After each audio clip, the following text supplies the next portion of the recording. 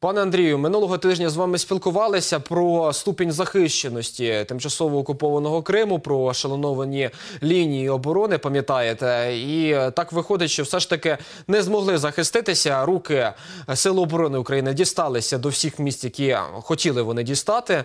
І що ж глобально означає враження таких двох катерів? Тому що ну якось так, от говориш, катер уявляє щось таке невеличке і незначне. Можливо, це не так. Розкажіть, будь ласка.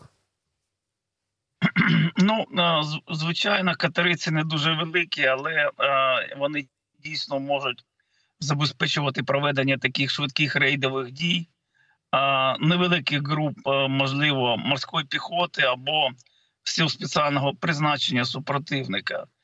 Цей катер має швидкість 30 вузлів і може доставляти таку техніку, як танки або БТРи на відстань до 600 морських міль. Ну, звичайно, що ну та техніка, яка була на, на, е, на цих катерах вчора, вона там не планувалась для доставки, наприклад, на- в Новоросійськ, але ну цю техніку могли би доставити е, для підсилення оборони е, оцих от е, районів, які, наприклад, Херсонщини, які зараз значить, окуповані і тимчасово знаходяться під контролем супротивника. І якраз оце Чорноморське селище воно знаходиться дуже недалеко від е, цього регіону. Можливо, що ця техніка вона призначалась, наприклад, для підсилення оборони е, якихось е, кос, які також захопив супротивник, або островів. Той, той же самий те Тендрівська коса, яка знаходиться недалеко, і вона має важливе значення для контролю судноплавства, або остров Джерогач, або, наприклад, той же самий Порт Скадовськ. Тобто, е, ну, супротивник мог дуже швидко висадити невелику, але важливу для них отаку групу для оборони цього місця. Зараз страти цих двох катерів, а їх на Чорноморському флоті тільки два. От оцей, ну оці два катера. А вони цього вже робити не можуть. Якщо вони будуть використовувати класичні десантні кораблі, то класичні десантні кораблі мають швидкість ходу е, фактично втричі меншу ніж оці катери, і вони дуже великі. Тобто їх можна е, ну дуже легко виявити і ну і вразити. Якщо ці маленькі, в общем-то, виявили, ну я так розумію, що оцей район Чорноморський він був під нашим пильним доглядом з якихось причин. І коли оці катери взяли на борт якраз техніку, а це означає, що вони готувались безпосередньо до виходу в море на операцію, Е, тому що на, от, на відеокадрах можна навіть побачити, що у них були включені двигуни. От якраз цей час і вони зустрілись з нашими дронами, морськими дронами камікадзе, які їх вразили. До речі, що цікаво, що один із цих катерів він дійсно, е, коли забезпечував е, діяльність ворожого гарнізону на острові Зміїни, його вже наші захисники один раз вразили. Це було в травні минулого року. Тоді якраз він перевозив цей тор, е, зенітно-ракетний комплекс. В нього влучили е, зарядом, е, значить, з Барактара безпілотного апарату. І він тоді затонув біля Зміїного, але там через пару тижнів росіяни його підняли, значить, відбуксирували до Севастополя, там відремонтували.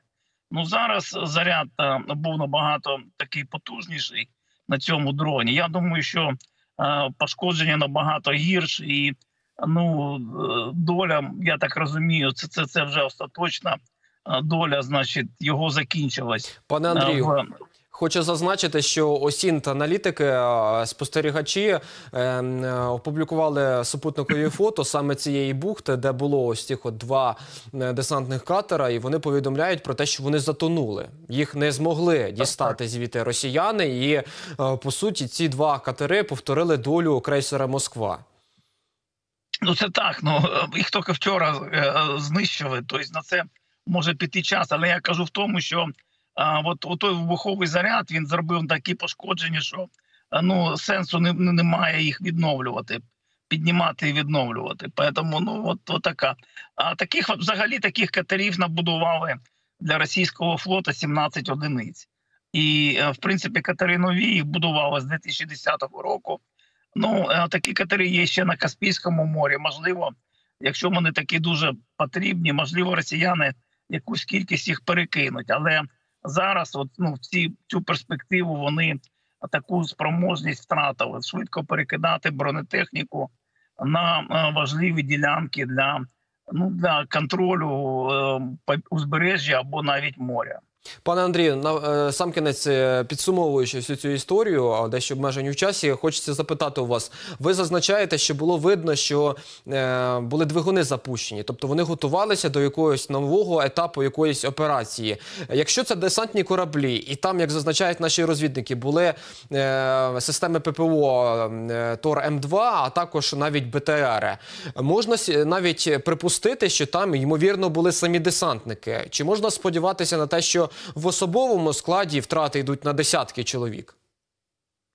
Ну, дивіться, я так розумію, що ГУР, коли давав пояснення, він казав, що ці катери, вони от Тор, Тор М2, вони перевозили на остров Зміїний. Зараз а, на цих двох катерах була тільки бронетехніка, були тільки БТР. Зараз торів не було. Ну тому що просто ну я не думаю, який сенс зараз їх перекидати. Вони можуть перейти пе- перейти через ну через суходол там і ну і- Тобто зараз була бронетехніка. Ну, бронетехніку на такі катера просто так не ставлять. І, і, і ще більше просто так вночі не запускають двигуни. Оці два фактори вони вказують на те, що фактично перед самим початком виходу в море, там на якусь операцію, на якусь акцію, якраз е, і була здійснена ця атака. І я також думаю, що ну втрати особового складу також присутні, тому що ну БТР без особового складу він не направляється. Яка як мінімум там якийсь розрахунок мав бути. Чудово. Значить, одну маленьку частинку роботи виконали, однак у ЗСУ ще багато роботи. Вибухи у Криму будуть продовжуватися, адже військовий хаб е, та резерви росіян на півострові досить великі. Саме так заявила речниця Сил оборони Півдня України Наталя Гуменюк. Вона також додала, що сили оборони України будуть працювати не покладаючи рук. Я ж нагадаю, що вчора вночі на Кримському півострові лунали вибухи. За даними місцевих пабліків, у Феодосії ймовірно пошкоджена нафтобаза. Удари завдали невідомі дрони. Крім того, розвідники ГУР знищили два російських десантних кораблі, про які щойно говорили у селищі Чорноморське. Е, Що стосується знищених кораблів, знищеної нафтобази, зрозуміло, пане Андрію, що це така собі робота з деокупації, демілітаризації, якщо хочете, нашого тимчасово окупованого Криму. Яка наступна ціль, на вашу думку, може бути е, на черзі після ось цих от катерів та нафтобази? Ну я думаю, що е, в принципі робота буде вестись комплексно. А, значить, е, ну, перш за все, ну цілі це дуже важливо для нас. Це ракетні кораблі, які мають ракети калібр. Тому що зараз м, ну, вже як би очікуємо холодів, і є таке припущення про те, що вони готуються атакувати нашу інфраструктуру. Тобто, от кораблі, перше, які несуть ракети калібр.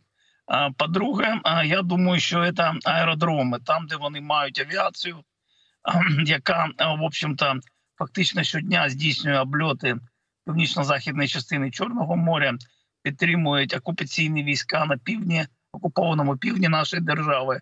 Е, Таких аеродромів багато в е, Криму. Це і Бельбек, і Гвардійське, і Сакі, і Джанко, і Кіровське. Е, І от я думаю, що вони також в полі зору наших військових, і ми знаємо, що такі удари вже проводились. От. Ну, далі, далі це об'єкти логістики. Тобто, от то, що було, наприклад, зафіксовано в Феодосії. От, я думаю, що це такий важливий. Ну і самий відомий об'єкт логістики це, звичайно, Кримський міст.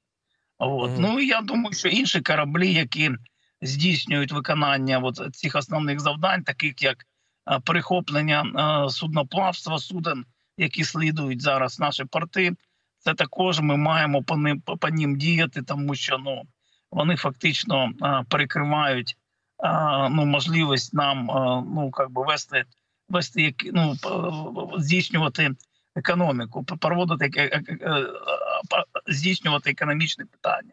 По суті, собою перекривають так званий зерновий коридор. Маєте на увазі, пане Андрію.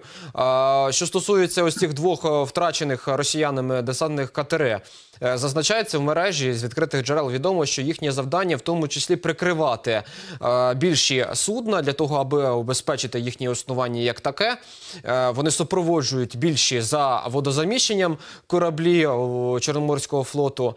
А що стосується більших кораблів, пане Андрію, що зараз, наприклад, відіграє е, який корабель відіграє роль флагмана Чорноморського флоту після того, як Україна знищила того року в березні крейсер Москва? От е, хто зараз е, голий залишився, так би мовити, якщо хочете, після знищення ось цих двох катерів учора? Ну, дивіться, ну, флагман зараз флота це е, російського чорноморського. Це фрегат адмірал Макаров, він знаходиться в Новоросійську.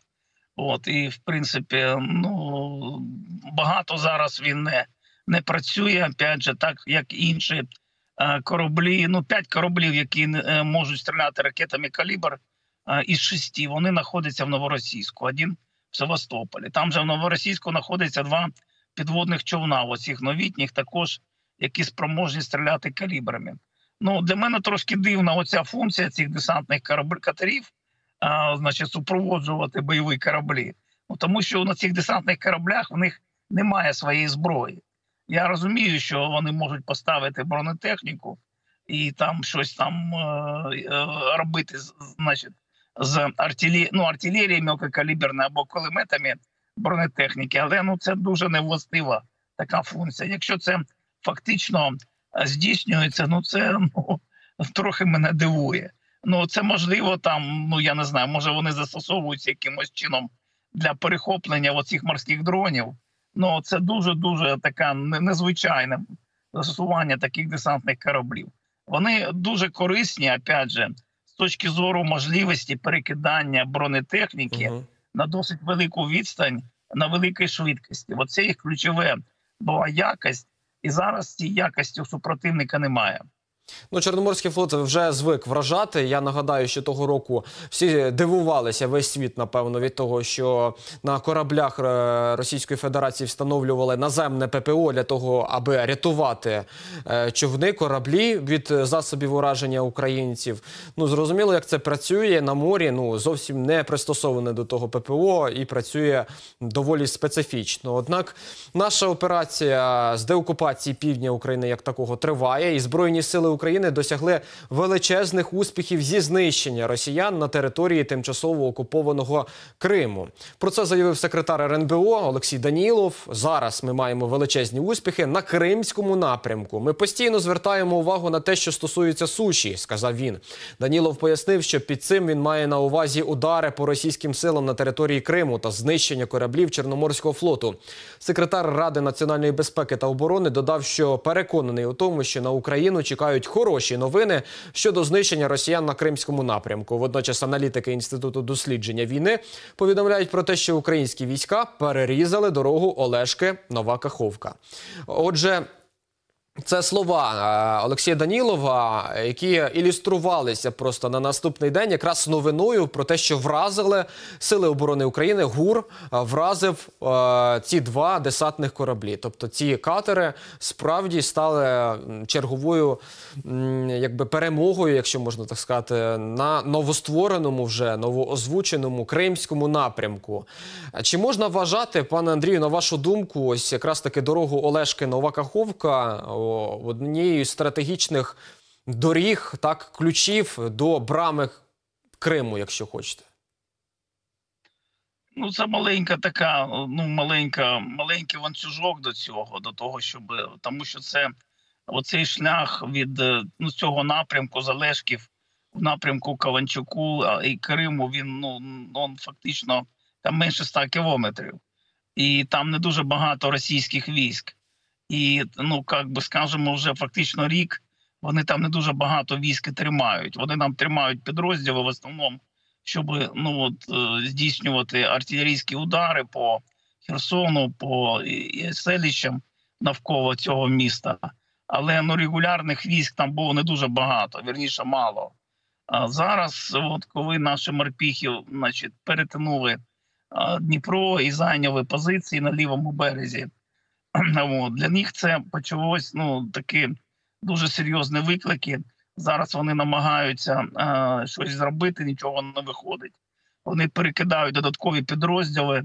От. Ну, опять же, е, ну, как би вони знаходяться вже ну, как би на пределі по, е, тим, ну, по, по кількості потрібних сил на інших напрямках. І біля Запоріжжя, і в районі Авдіївки, і на Куп'янському напрямку. Тому ну, как би резервів небагато, і от, е, ну, кожне от таке перерізання, перетинання е, такого ну, досить важливого шляху, воно дійсно негативно впливає на супротивника. Це також відбувається в якраз в пліч-опліч з подіями в Криму. Знову ж таки, кораблі ворога не можуть почувати себе в безпеці ніде в акваторії Чорного моря. Ми розуміємо, що як я розумію, використовувати човни і кораблі для транспортування БК нині росіянам. Ну, якщо не зась, то ризиковано. Чи е, це зараз впливає дуже сильно на лінію фронту? Те, що вони просто не можуть підвозити боєприпаси саме морем е, нині, пане Андрію. Як вважаєте, що скажете? Ну, це не критично зараз для них, тому що, ну, в принципі, как би, ну, БК, ну, БК вони перевозять через на- наземні види транспорту. 75% постачань воно здійснюється через оцей Приазовський коридор. Тобто, цей сухопутний коридор, е, який росіяни нині контролюють на півдні держави через Маріуполь, через Бердянський, туди нижче, нижче до Херсонської області, до Запоріжжя і так далі. Тобто, це те, що зараз останнім часом в ході нашого літнього осіннього контрнаступу намагалися збройні сили зробити, перерізати логістичні е, шляхи. Зараз нагадаю, ми спілкуємося з Андрієм Реженком, капітаном першого рангу, е, заступник начальника штабу військово-морських сил ЗСУ з 2004 по 2020 роки. Зараз е, стараємося відновити зв'язок з паном Андрієм. А поки що нагадаю, обговорюємо успіхи на новоствореному, новоозвученому Олексієм Даніловим, секретарем РНБО України, е, Кримському напрямку. Новий напрямок відкрився. І ще одна е, ілюстрація того, що вже зовсім ну, в такому а, майбутньому, який ми можемо уявити, те, що ми вже скоро можемо побачити, недалекоглядному можемо е, побачити Збройні сили України знову ж таки через 9 років після окупації на території нашого півострова Крим. Саме зараз відбувається, продовжують іти наступальні певні операції на лівому березі Херсону. Як зазначали, перерізали Збройні сили України від е, повідомлень Інституту вивчення війни відомо трасу біля Олешок. І зараз мені підказують, що знову ж таки маємо зв'язок з Андрієм Реженком. Пане Андрію, як чути?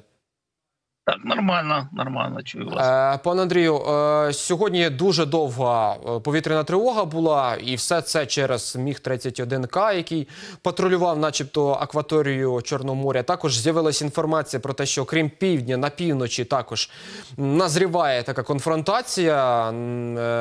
Ситуація загострюється, і у вересні до Білорусі стало відомо прибули ще два потяги з компонентами тактичної ядерної зброї. Про це повідомляє моніторингова група Білоруський гаюн. За її інформацією, на станцію Прудок з 15 по 24 вересня до Білорусі прибуло 26 вагонів, завантажених компонентами тактичної ядерної зброї та особовим складом. Неподалік від станції Прудок розташована авіаційна база зберігання ракетного озброєння та боєприпасів. Для приховування перевезення ешелони йшли через стиковий пункт Заольша, де проходять всього два поїзди на добу. Зазначили про це у моніторинговій групі. Це те, що відбувається на півночі, пане Андрію. Однак е, те, що відбувається на півдні, ось ці е, патрулювання, так звані міг 31 к е, які мають змогу нести на собі. Ракети типу кинжал, далекобійні і надзвукові, які також можуть оснащуватися БК різного рівня. Це для кого взагалі робиться? Як ви вважаєте? Це для того, аби тримати е, ППУ Україні України в тонусі, як то кажуть, чи це робиться для того, аби весь світ розумів, що ми контролюємо, тобто росіяни контролюють Чорне море і е, можуть вдарити в будь-яку в будь-який бік, будь-яку сторону?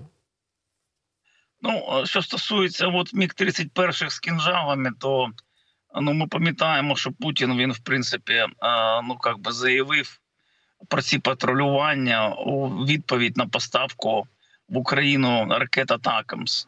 От, нібито це мало налякати там когось.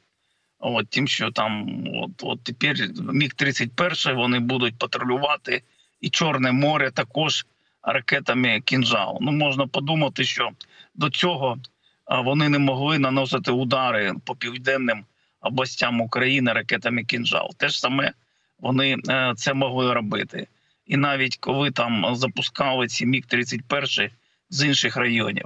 От поэтому ну це була така бравада геополітична, типу, от це наша відповідь. Ну до речі, якщо казати про Чорне море, то там навіть і цілей таких немає, по яким той кінжал може стріляти. Там ну, якщо у них є бажання просто випустити там, от там цю, гіперзвукову ракету, то ну вони можуть це зробити.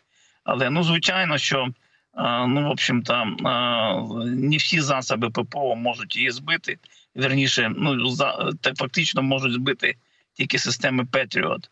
От і вони це робили от здесь на півночі, під Києвом, в Києві. От ну це е, от така, от дійсно там можуть бути різні типи боєприпасів. Але ну я думаю, що ну в принципі про ядерну зброю вже казали багато, і захід, в общем-то, попередив, і дійсно застосування ядерної зброї було би. Ну я ну просто я так розумію, що було доведено, що буде адекватна відповідь, тобто застосування такої ж самої зброї проти Російської Федерації. І ну вони це, це розуміють. Вони розуміють і якісні різницю західної зброї такого типу. Що стосується зброї ядерної в Білорусі, це також елемент ну, такого ж самого тиску геополітичного шантажу, тому що ну, в принципі, е, ну от що Білорусь, що оці от е, кордони наші з Російською Федерацією на півночі, вони настільки ну, е, знаходяться поруч, що ну е, сенсу немає Росії е, ну, е, розташовувати цю зброю в Білорусі, а потім е, з території Білорусі її застосовувати. Я маю на увазі сенсу військового, тобто, що вона буде літити з Білорусі 100-150 кілометрів, що вона буде, ну що це, це елемент зброї, чи ця зброя буде, е, значить, пр- робить такий же шлях з території Росії. Ну, опять же, для Білорусі, я так розумію, і ми бачимо останні, ну, е, останній час, от е, їх нібито президента Лукашенка, він так ну досить е, обережно відноситься до бойових дій проти України. Я так роз... ну, а він розуміє, що застосування зброї е, навіть з території Білорусі, навіть е, е, Російської Федерації, це буде ну, ну дуже дуже фактично негативно від, по відношенню до в першу чергу оцеї влади білоруської, там яка саме про, про, про проголошена. От поэтому, ну опять же, це, це спекуляції такі. Спекуляції, хоча ну в принципі загроза е, ракет кінжал вона реальна, і ну, в общем-то, е, не дуже багато місць зараз е, ну, захищених на території України. Ну, колись я думаю, що ну, Росія за це буде дуже дуже довго вибачатися і сплачувати оці компенсації, які вона завдала. 100% так і буде, пане Андрію. Будемо сподіватися, що цей так званий процес денацифікації, те, що проходили свого часу німці після закінчення Другої світової війни, пройдуть і росіяни. Я вам дякую за те, що долучилися до нашого етеру. З нами на прямому зв'язку був Андрій Реженко, капітан першого рангу запасу, заступник начальника штабу ВМС Збройних сил України з 2004 по 2020 роки. Дякую.